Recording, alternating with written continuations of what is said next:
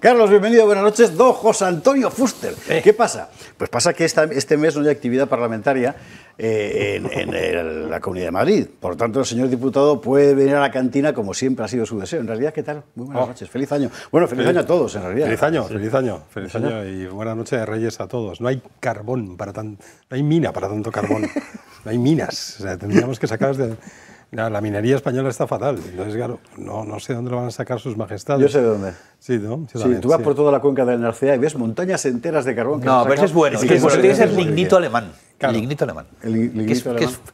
que huele fatal y Vale, es malo. Y que hay minas en China, ¿no? Para aburrir. Sí, Eso sí, es sí. verdad que los, sus majestades pueden ir un momentito, coger y traer, pero es, es importante. Bueno, pero seguramente esta, esta referencia mineral era el preámbulo de algo que ibas a decir. No, pues, eh, el problema es que me estaba planteando cuando tu editorial es que empiezo a echar de menos aquellos momentos en los que decíamos, los que decían, de media nación eh, no se resigna a morir.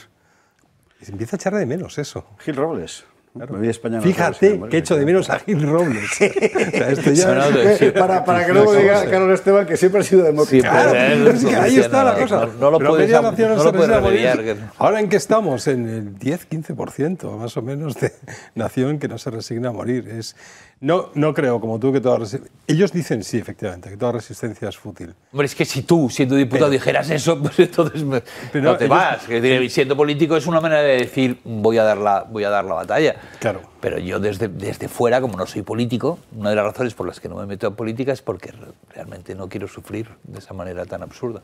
¿No quieres sufrir el qué? No, por decir que, que no quiero perder siempre.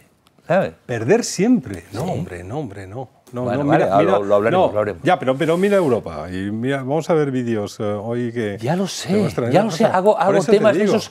Hago Yo sé, to- y, todos yo- los y días. como yo te leo, que sí, lo que no entiendo es que, no permen en que sí, ti que van esos subiendo, temas que tú, que van le- subiendo. tú escribes. ¿Sabes lo que va a pasar cuando, cuando se den cuenta en Alemania que, oye, alternativa para Alemania está, está- ¡pum! Ilegalización. Si ya que, te leo, Carlos, que te leo. Pues lo que no entiendo es que leyéndote, es decir, tú escribiendo y leyéndote a ti mismo. Y, tu ap- y a no tu hagan- partido no le ha- queda. ¿Cuánto? No sé, pero que, que quieren ilegalizarle, pero vamos. Ah, pero por favor. Ay, sí, por favor. ¿Qué te crees tú? Que no lo pensaban alternativa para Alemania también, el por favor. Y está a esto. Ya tienen permiso para que les espíen. No hay, no hay- Ah, qué estupendo. no hay nada que hacer. No hay nada que hacer. Si mañana ilegal- ilegalizan a Vox, habrá pasado mañana un Revox. Es que da igual. Da igual.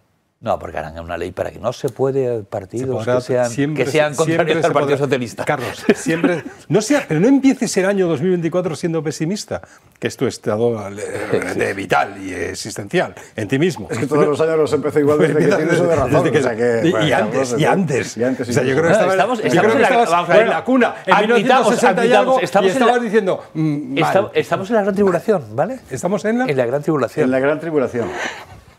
Ah, y luego va a explicar, luego va a explicar Carlos Esteban tribulete. es esto de la gran tribulación, porque tiene mucha chicha la cosa.